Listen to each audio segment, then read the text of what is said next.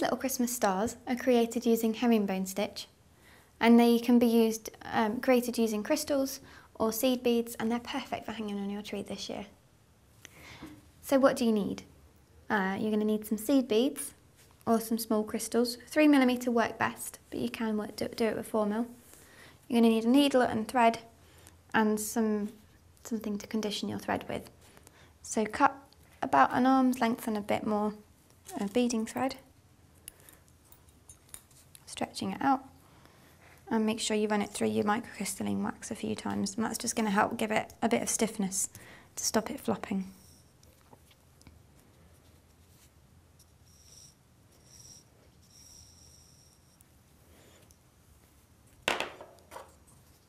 The great thing about this is you can use any size of seed beads. Obviously the bigger seed beads you use, the bigger your star will be. We're going to pick up 10 seed beads.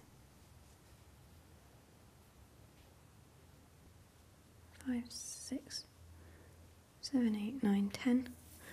And push them down so they sit towards the end of your thread, leaving a bit of a tail thread. And we're going to tie these in a knot. You can just thread through the first few beads, but I find it helps getting attention if you've got that knot. It stops them slipping and sliding all over the place. Let's tie that nice and tight in a double knot. Thread through the next bead nearest. And pick up two beads. Go through the next one and the next two.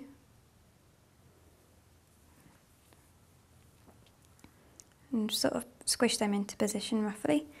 Pick up two more beads and then thread down and through the next two along.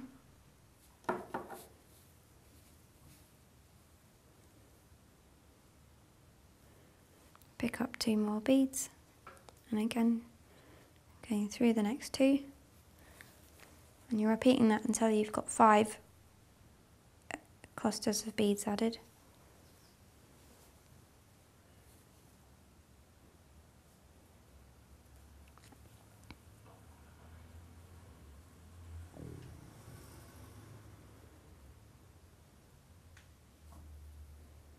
and then down through these two and what you're going to do this time is once you've exited that bead, the second bead might be slightly tight because that's where the knot is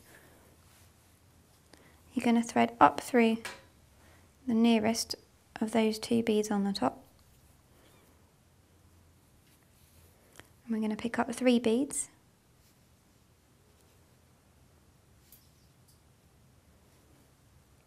These are just so simple, it's wonderful.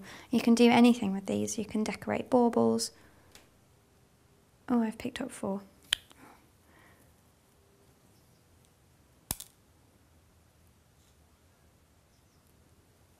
Let's lose one of those. Dear me. Could have sworn I picked up three. At least you can see straight away with this project whether it's gone whether it's gone wrong. So that's my pick up three. Go down the next bead in that stack there.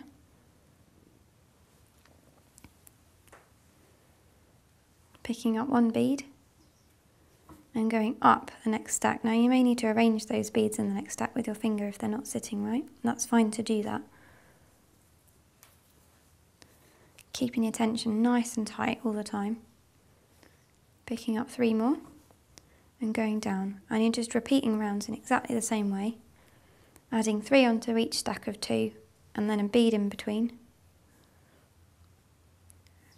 Going up. The nearest of the next stack, threading a bead in between each time, picking up three, going down, picking up a bead and going up, and then the three. To make your point.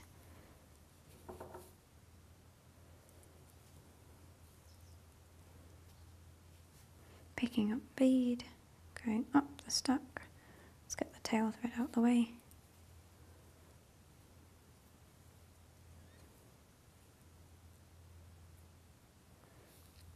And then my last one, picking up three, going down, And then just to finish, I need to add one more bead.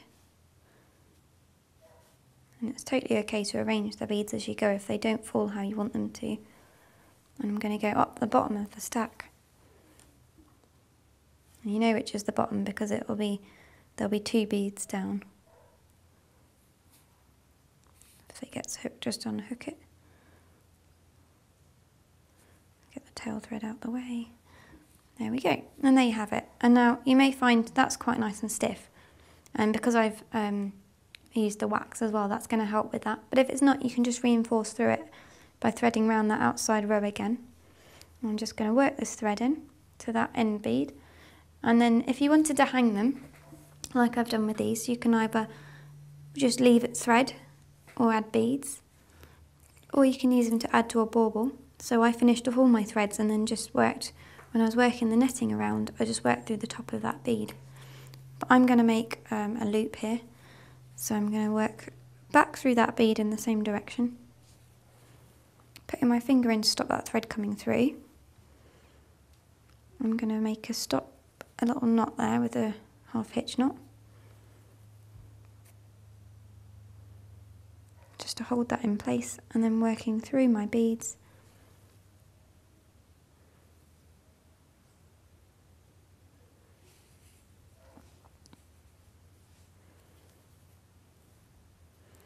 So making a couple of half hitch knots, making sure they sit where you want them to and they don't cross over any of the beads. There we go, pulling that tight and then working through a few more beads before trimming.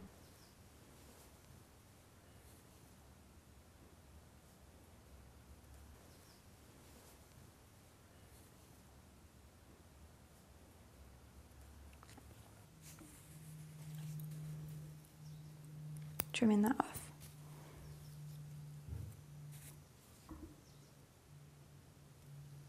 And now we're going to work in the tail thread and I'm just going to just literally thread through because you've got the knot there.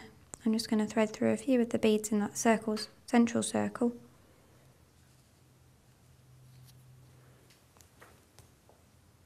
And trim.